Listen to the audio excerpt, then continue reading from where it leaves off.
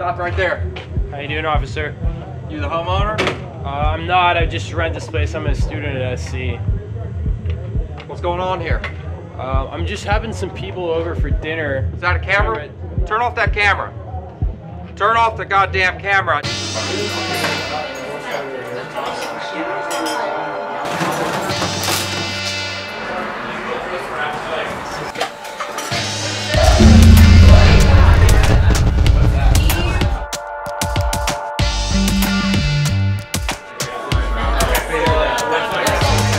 My name is Bobby Kronfli. I'm one of the founders of Paladar. Paladar is a, an underground restaurant that started at USC. Alex Chang is the other founder of Paladar. There's a persimmon gelée, yuzu caramel, almond crumble. The concept was a three-course menu that changed every week for $15. Paladar came from us sitting down in the living room, doing some research. Then we came across Paladar, which is a word that describes a restaurant run out of somebody's home in Cuba. Exactly what we're doing. Okay, Paladar it is.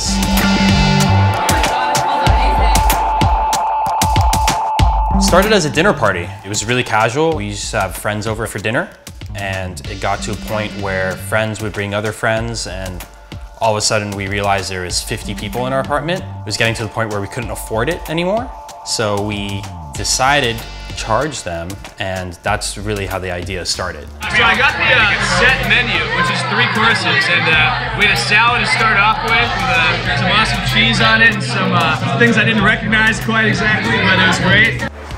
None of these dishes are dishes that I've ever made before. Every time we do one of these, I try to do something new. If you were to put a finger on a theme with Alex's food, he's half Mexican and he's half Chinese. So that automatically goes into his food because that's what he grew up with, that's what's in his blood. There's always like an Asian undertone in his menus. There was one menu we did twice because it was so popular. It was like a Paladar burger, but people loved it so much and everybody was talking about it. And I remember Alex and I were sitting there like, this burger, like, you know? This was amazing. Um, it's food being shared by a lot of people that don't know each other, and it's, uh, you know, it's a great, great sort of vibe. It's really good here. Unexpected.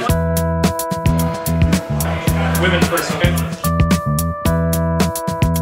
After we graduated, Paladar hopped around LA and we did it for about a year.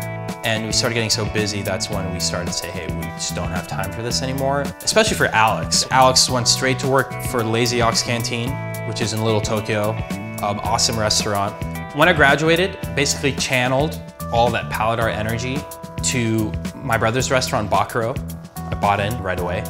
Bacaro was one of the first places in LA to serve small plates, like tapas style food. And it's a wine bar, so there's all different types of small production wines from all over the world that we offer there. Pick up. We still have the email list, you know, and we do one-off dinners every once in a while. Uh, but that's really the most that we can do at this point. And also with the documentary that was filmed on us, hopefully it'll give Paladar an extra life after we're done with the dinners anyways. I remember I used to think to myself, man, you're, hard, you're putting your heart and soul into this, it'll, it'll pay off. It'll pay off in the end. Just keep doing it. And just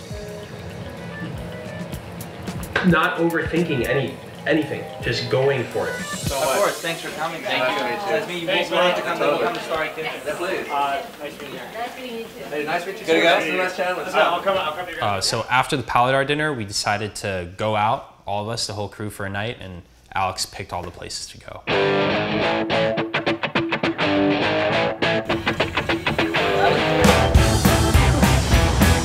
So we're going to uh, a restaurant called Freddy Smalls. It's like a bar, but they have good food. And you know the chef over there, or what's the Yeah, the the sous chef over there used to be my old boss at uh, Lazy Ox? Lazy Ox Canteen. She's a good friend of mine, and What's her name again? Victoria.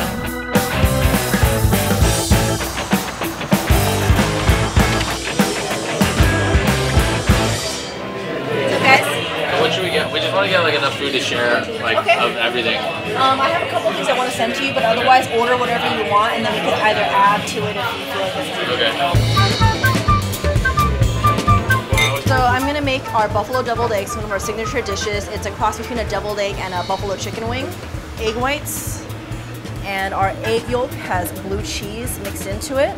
House-made buffalo sauce, made with red Fresno pep chilies, shallots, garlic, and a little bit of honey and champagne vinegar, and crispy chicken skins. So our next item is our apple cider glazed Brussels sprouts. These Brussels sprouts are deep fried, and they're tossed in a sauce made with apple juice and apple cider vinegar. It is served around a dollop of our house smoked goat cheese.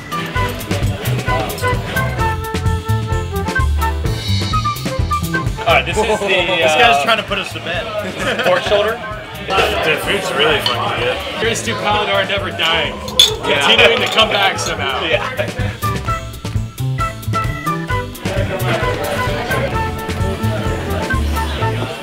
Thank you. Always a Thank you very much.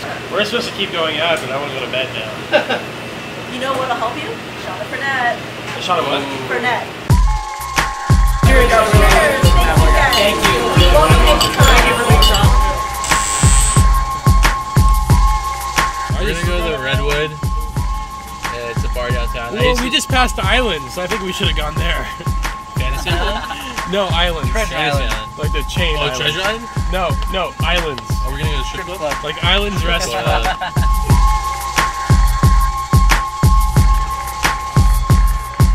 The interior decor of the Redwood Bar is like absolutely insane. But we still had fun, like we always had fun. Alex is like a regular there and everybody knows him. Now, everyone says that this is kind of a divey bar, but it's a nice divey bar. The idea, I think, has always been to make it be a little bit mysterious. Hence, the lighting is uh, really low key. You ready?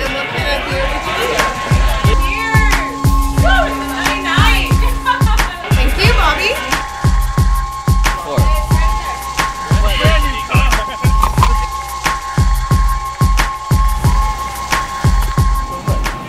Where's the? What do you want to go? Where's What's the your favorite choice?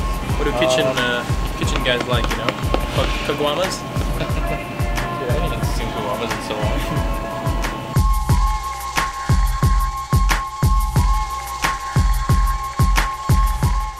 Awesome dinner. Drove to a bar downtown, Redwood, and then the nightcap, the like late night munchies meal was at Bacaro at my restaurant. Kevin. where are you from? Where's the flour? We're gonna have chicken tonkatsu. It's like a Japanese fried cutlet. Kind of like home style meal.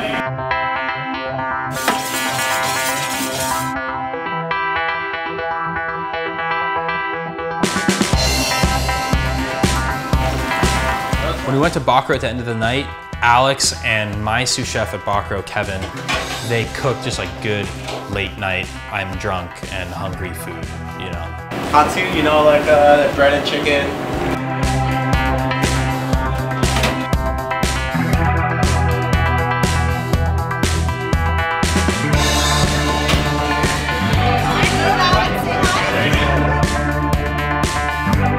We invited a bunch of people that we knew around LA from food scene to come and just like eat a late night meal at Bacaro and like drink and stuff.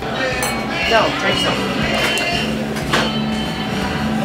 By the stem, bro. So like a bunch of people from Lazy Ox came, a bunch of people from Animal came, which was cool, fun.